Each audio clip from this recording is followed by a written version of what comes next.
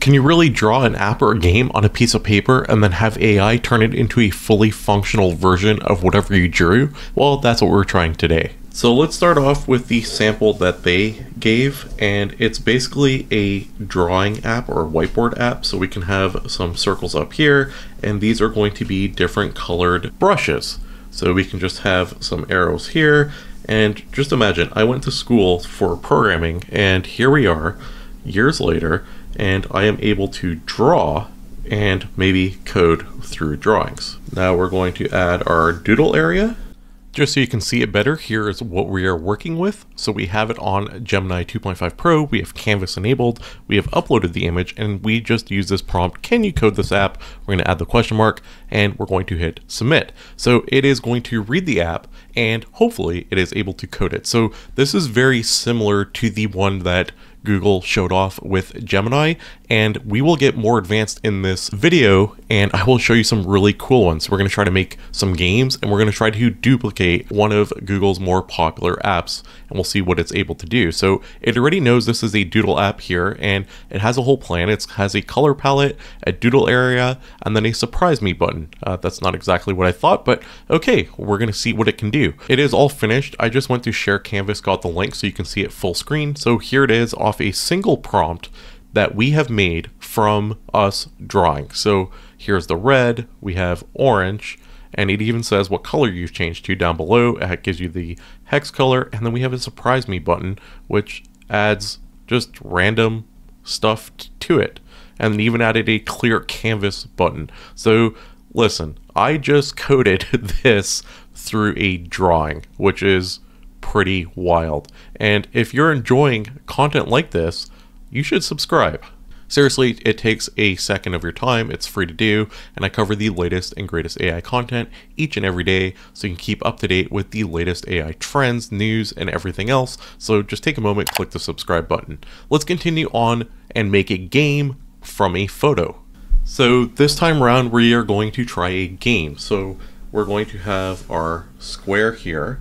We're going to have some ground. So over here, we're adding our dino. We are going to have our cactuses. Move towards player infinitely.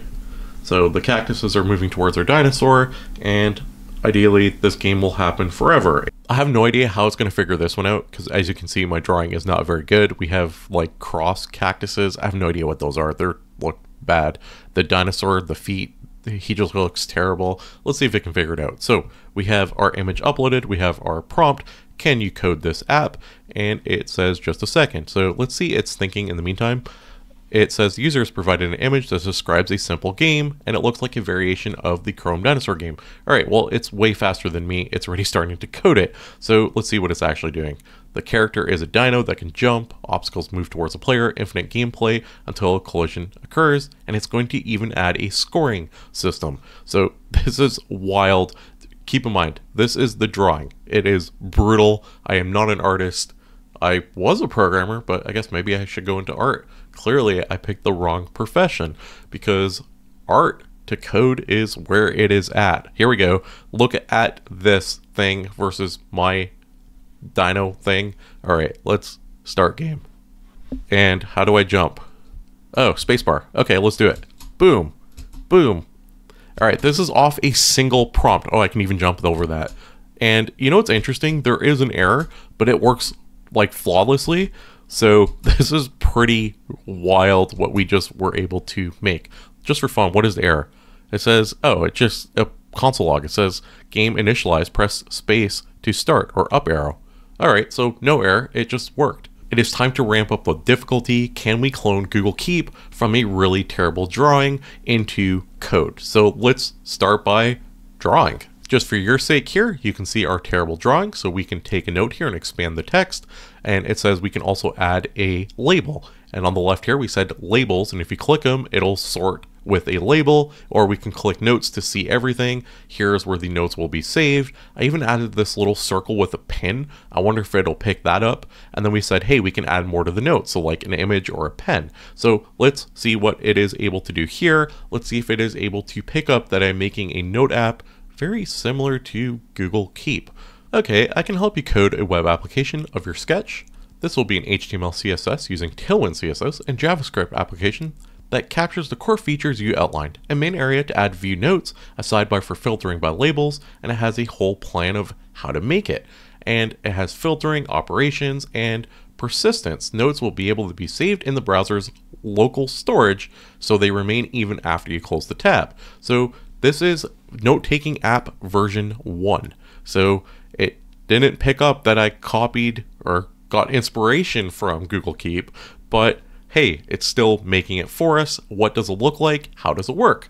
We're about to find out in mere seconds. Just like before, we copied the link, we open it up here. So here is our note-taking app. So let's add a title called subscribe. We're going to add some content. It even said it accepts Markdown. We can have a label. So let's call this work. We can even add optional images. So let's hit save note. And here is our note, which we can now edit or we can hit cancel. So I have a couple of notes now, so we can click ideas and it'll actually show only the notes with ideas. We can flip to work and it'll show only the notes with work, or we can hit all notes and it'll show all of the notes. So it works very similar to Google Keep, which is crazy considering we started with this. Let's just quickly take it to the next level. I want the add note section to be an expand, and I want the colors and whole scheme to take inspiration from Google Keep.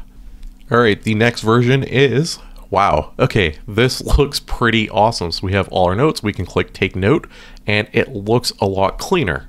So I'm just gonna add another note here called subscribe, and the caption of this is now, and I'm just gonna add a label called YouTube. As you can see here, I actually tested the image and it looks really good, and it sorts it in order from like newest to oldest. So now we can jump around from our ideas to YouTube, back to all notes. We have our labels and we have our beautiful working app called Take Note.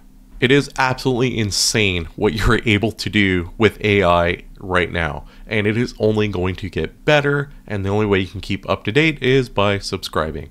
And if you enjoyed videos like this, don't forget to leave a like on the video. It tells the YouTube algorithm you enjoy content like this and you want to see more of it. Leave a comment down below. Let me know what your thoughts are.